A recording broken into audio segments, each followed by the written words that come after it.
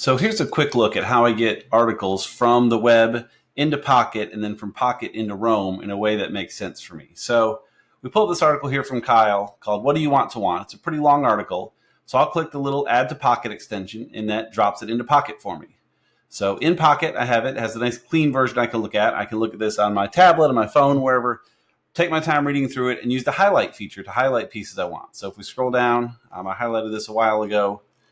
Uh, we've got pieces here I've highlighted. So again, if you want, just grab some text, hit highlight, it highlights it for you.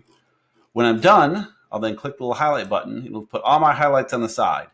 There are ways to kind of pull them out cleaner, but I'll just kind of grab them here. This is more than I would normally have, but I'll just copy those. Um, and then in my notes, uh, usually just in my daily notes, I'll put something like, I read, what do you want to want? You want to want, if I can spell. There we go. I'm going to open that up.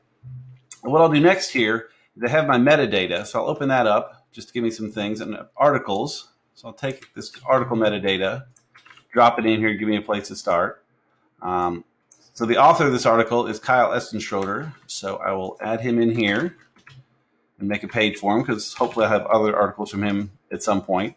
Um, give it some topics or tags or whatever. Um, you know, that's up to you. I kind of have my topics and tags. You could maybe do it different ways. I usually put a URL to the original source. So go back out here, grab the original source, paste it in here. But then I also have a link to keeping it in Pocket, just in case the original goes away or something. I can reference that quickly. So I'll go here and paste that in. And then my summary. And This is what I'll put in my notes from Pocket. So I'll go back out here again. Um, I copied it once, but let's copy them again here. So I'll paste those in. Now, again, there's probably ways to do it cleaner, um, but I do that. I usually don't have that many highlights, so I'll kind of clean out some of those um, as I work my way through. But then I'll look for things that I maybe want to tag in here for other things. So Aristotle looks like something I may want to reference later, or you know, may want to link to. Um, Friedrich Nietzsche, grab him in there. Um, this is where I'll kind of go through. Really, that's kind of an interesting one. So I'll probably tag that as a quote too. Just I may want to reference that later. I have a lot of quotes I keep, so I have quotes there. Uh, Martin Luther King. So again, I want to get just him, not the S in there, so that way it just goes to his page, and kind of work my way. And that's really about what I do with it. Um, I just kind of do that for whatever else. I'll try to add more if I have other thoughts um, about a specific topic. In theory, I should go through, like Tiago Forte would say, some progressive summarization to kind of shrink this down and give more of my insights to it.